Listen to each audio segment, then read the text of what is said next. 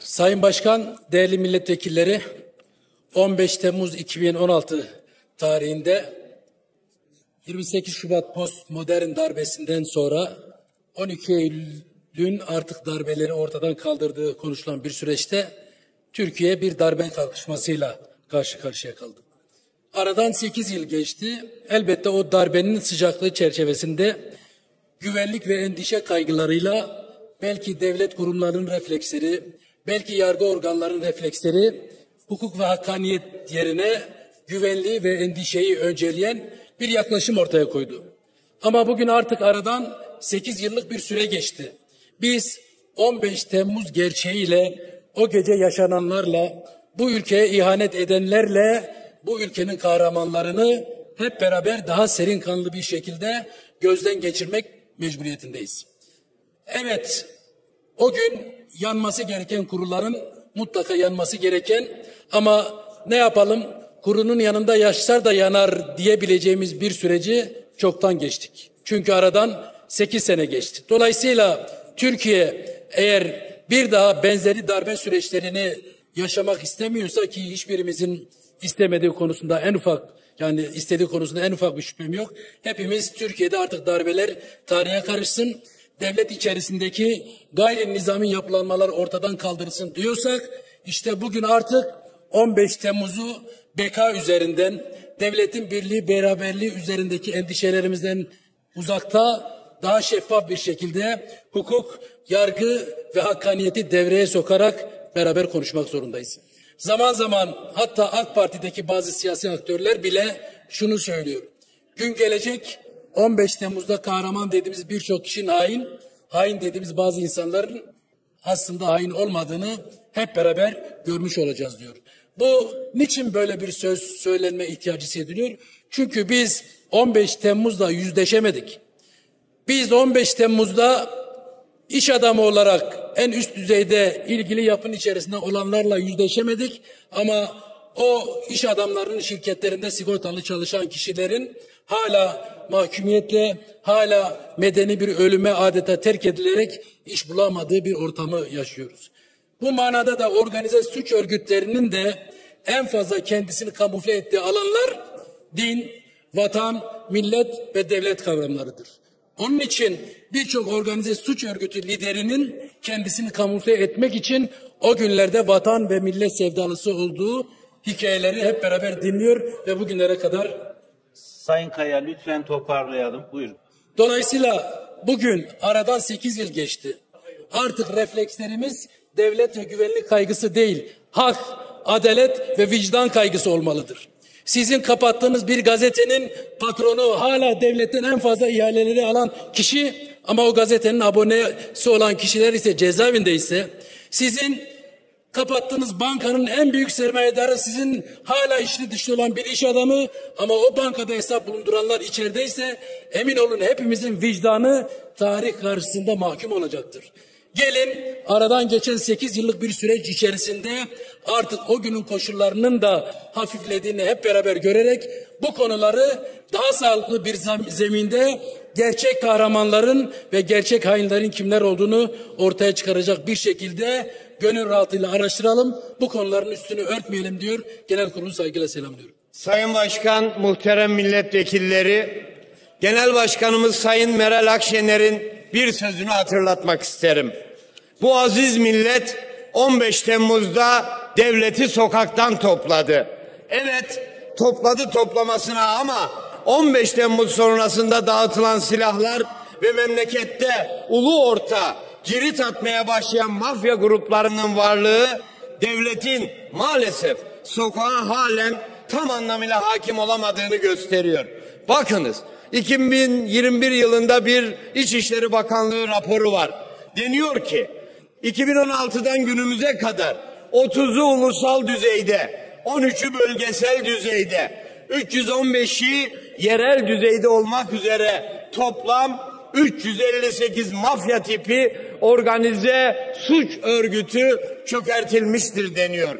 Ayrıca aynı dönemde çökertilen uyuşturucu suç örgütü 392. Dikkat ediniz. Rapor 2021 yılında Yani devri iktidarınızdan neredeyse 18 yıl sonra suç örgütü lideri Ayhan Bora Kaplan olayı gösteriyor ki yapılacak bir araştırmada bugünkü tarih itibariyle nasıl bir rakamsal tablo ile karşılaşacağımızı Allah biliyor. Dava dosyasına yansıyan ifadeler ne yazık ki organize suç örgütü liderleri ve üyelerinin bazı kamu görevlileriyle girift ilişkiler içinde olduğunu gösteriyor. Ayhan Bora Kaplan'ın duruşma hakimine burada söyleyemem. Yan odaya geçelim. Orada özel söylerim pervasızlığı dahi bu ilişkilerin hangi boyutta yaşandığını ortaya koyuyor. O nedenle de bu memlekette halen daha mafya tipi yapılanmalar, çetevari örgütlenmeler tüm pervasızlığıyla sayenizde sürüp gidiyor. Nedenini biliyor musunuz? Çünkü siz ne istediniz de vermedik dediniz. Onlar biz her şeyi istiyoruz dediler ve 15 Temmuz'da sizi istediler. Siz ayaklar altına aldığınızı söylediğiniz Türk milliyetçilerine sığınıp can havliyle Nihalatsız'dan şiirler okudunuz. Gülden terazilerde gül tartması gerekenler sizin iktidarınız boyunca onlara verdiğiniz güç ile devleti tartmaya kalktılar. Ve 15 Temmuz Sayın Türkoğlu lütfen toparlayalım. Buyurun. ve 15 Temmuz'da küpün içindekiler dışarıya sızdı ve sayenizde FETÖ isimli bir gayrimeşru çocuk doğdu. Siz kendinizden başka herkesi bu çocuğun babası olmakla suçladınız. Oysa cümle alem biliyor, Allah da biliyor o gayrimeşru FETÖ çocuğunun babası sizsiniz. Ders aldınız mı? Hayır. 15 Temmuz'dan sonra da devletin bürokrasisini, hazinesini cemaatlere, vakıflara, tarikatlara ard arda peşkeş çekmeye devam ettiniz. Çünkü hepimiz Gogol'un paltosundan çıktık diyen Rus romancası gibi söyleyelim. Hepiniz onlar patates dininden diyenin paltosundan çıktınız. Teşekkürler. Genel kurulu ve ekranları başında bizleri izleyen değerli halkımızı saygıyla, sevgiyle selamlıyorum. Aynı zamanda Van halkıyla dayanıştığı için gözaltına alınıp tutuklanan sevgili yoldaşlarım Sibel Örkmez ve Sedanur Uğur'u ve aynı zamanda Ko- Kobene Kumpas davasıyla hukuksuz bir şekilde rehin tutulan arkadaşlarımızı da özel olarak selamlayarak başlamak istiyorum. Değerli Hazırun, biraz evvel Sincan'da Kobene Kumpas davasındaydım. IŞİD barbarlığına, insanlığa karşı işlenen vahşete karşı mücadele eden arkadaşlarımızın davasından buraya geldim. İroniye bakın ki Kobane Kumpas davasında insanlığın yargılandığı o dava salonunda daha dün Ayhan Bora Kaplan'ın davası görüldü. Faşist rejimin inşasında iktidar güçleri tarafından ilmek ilmek yaratılan çete mafya düzeninin bir sonucu olarak palazlandırılmış suç örgütü lideri Ayhan Bora Kaplan'ın davası. Kimdi bu Ayhan Bora Kaplan? Süleyman Soylu'nun has adamı olarak bildik biz kendisini. Emniyet kayıtlarında mafya lideri diye adı geçti uyuşturucu, tefecilik, silahlanma, gece kulüplerini ele geçirme gibi suçlamalarla yargılanan Ankara'daki Kaplan grubunun lideri. Ankara'nın Çinçin mahallesinde torbacılık yaparken rakip mafya gruplarının çökertilerek bizzat iktidar güçleri tarafından önünün açılıp palazlandırıldığı bir isimden bahsediyoruz. Şu fotoğraftan hatırlayacaksınızdır. 15 Temmuz darbe girişimi sırasında Ankara'daki TRT binasına giden Süleyman Soylu'nun yanında elinde Kala Kalaşnikov tüfeklerle poz veren ekibin içindeydi bu isim. Şunu ifade etmek gerekir ki 15 Temmuz darbe girişimi Türkiye'nin egemen mimarisini temelden sarstı ve önceden ortak olduğunuz cemaatle yollarınızı ayırmak zorunda kaldınız. Devletin içerisinde oluşan krizi ise mafya çete düzeniyle aşmak istediniz ve bu sayede mafya devletini ellerinizle ilmek imlek var ettiniz. Sizin iktidarınız döneminde ülke ekonomisinin ayrılmaz parçası olan yolsuzluk, rüşvet, kara para aklama uygulamaları tek tek hayata geçirildi. Bizler biliyoruz ki yolsuzluk, rüşvet, yağma, talan uygulamaları kapitalizmin ayrılmaz bir parçasıdır. Tam da bu yüzden ülkemiz bugün kara para, rüşvet, yolsuzluk, kayıt dışı ekonomik faaliyetlerle mücadele konusunda OECD ülkeleri içinde Sayın Koca lütfen toparlayın. Buyurun. Peki şimdi ne oldu?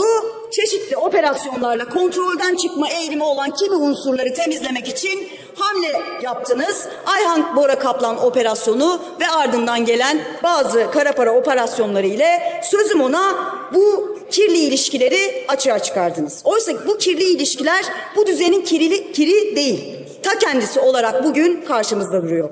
Ve ülkemiz ne yazık ki cemaat, mafya, idari yönetim üçgeniyle yönetiliyor. Hakim yapı bu. Öyle ki operasyonlar hakim yapıya zarar vermiyor. O yüzden bu önergeyi biraz sonra reddedeceksiniz. Çünkü sizin kayıp silahları bulmak gibi bir derdiniz yok. Çünkü o kayıp silahlar tehdit olarak kullanılıyor. Zaten kayıp değil Gömülü silah demek daha doğru olur. Çünkü o silahların nerede gömülü olduklarını siz bizden çok daha iyi biliyorsunuz.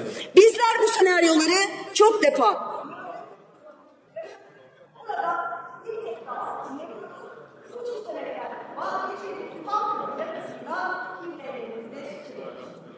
Sayın Başkan, değerli milletvekilleri hepinizi saygıyla, hürmetle selamlıyorum.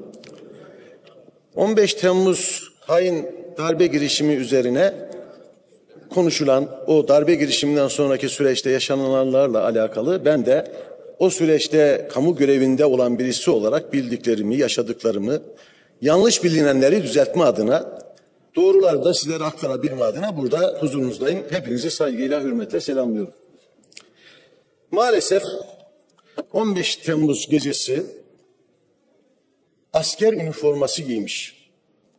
Milletimizin vergileriyle alınmış olan tankları, topları, atak helikopterlerinden milletimizin üzerine bomba yağdıran, ateş yağdıran vatan hainleri çok büyük bir acıya, çok büyük bir ızdıraba ve sıkıntıya hep beraber milletimizi düçar ettiklerini yaşadık ve gördük. O gece sadece milletimiz sokaklara dökülerek değil, bu kutsal meclis, Gazi Meclis'te şimdi başkan vekilliğimizi yapan Bekir Bey'in de bulunduğu ortamda bütün partilerden milletvekilleri bu hain darbe girişimine karşı çok büyük bir tavır sergilediler, duruş gösterdiler. Kendilerine teşekkür ediyoruz. Bu süreçte maalesef 250'nin üzerinde evladımızı, kardeşimizi şehit verdik. 2000'in üzerinde 2190 kardeşimiz, vatandaşımız yaralandı. Birçoğu hala tedavi görüyor. Şehitlerimize Allah'tan rahmet diliyorum. Gazilerimize sağlık ve sıhhat diliyorum. Acil şifalar diliyorum. O gece ben İçişleri Bakanlığı müsteşarıydım. Değerli arkadaşlar. Basında, sağda solda hele hele organize suç örgütü liderlerinin laflarıyla olayları değerlendirmek ne kadar doğrudur sizin takdirinize bırakıyorum. Adam zaten organize suç örgütü lideri. Onun lafıyla burada gelip de bir şeyleri farklı değerlendirmenin çok doğru, anlamlı ve mantıklı olmadığını düşünüyorum. Ben çok açık net söylüyorum. O gece emniyet birimlerimizin, güvenlik birimlerimizin biliyorsunuz birçoğunun belinde sadece beylik tabancaları var. Rahat mücadele edebilsinler diye gerek Ankara Emniyetinden gerek İstanbul Emniyetindeki bizim kapalıdır, kilitlidir. O silahların bulunduğu yerlerde kapılar açılmış ve emniyet personeline silahlar dağıtılmıştır. Vatandaşa devletin elindeki envanterindeki silahların dağıtılması mümkün değildir. Öyle bir şey yoktur. Vatandaşın oralara girebilme şansı da yoktur arkadaşlar. Kayıp olarak kayda giren Ankara Emniyet Müdürlüğümüzün Sayın Altınok lütfen toparlayın. Tamam değerli başkanım. 3 adet G3 piyade tüfeği, 11 adet Kaleşnikov tüfek, 1 adet MP5 makineli tabanca ve İstanbul Emniyet Müdürlüğü envanterindeki bir adet MP5 makineli tabancanın kayıp olduğu ve onunla alakalı yasal sürecin devam ettiğini özellikle belirtmek istiyorum. Ama şunu özellikle tekrar belirtmek istiyorum değerli arkadaşlar. Türkiye Cumhuriyeti Devleti bir hukuk devleti. Eksikler olduğu iddia edilebilir, 90'lar olduğu iddia edilebilir. Onun hepsine saygı duyarım. Ama herhangi bir terör örgütünün, organize suç örgütünün devletten daha üstün olabilme, devletin önüne geçebilme, devlet birimleriyle alakalı iş ve işlemlerde bulunabilme iddiası devletimiz olan saygıyı ortadan kaldırır. Evet, suç örgütleri var mıdır? Vardır. Onun için devlet vardır. Terör örgütleri var mıdır? Vardır. Onun için devlet vardır. Türkiye Cumhuriyeti devlet olduğu müddetçe. Sayın Altınok kuralımız lütfen buyurun tamamlayın. Hukukun üstünlüğünde adaleti sağlayabilme devletin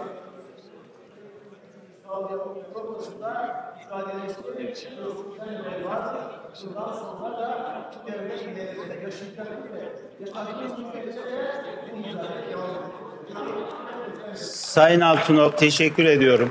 Cumhuriyet Halk Partisi'nin grup önerisini oylarınıza sunuyorum.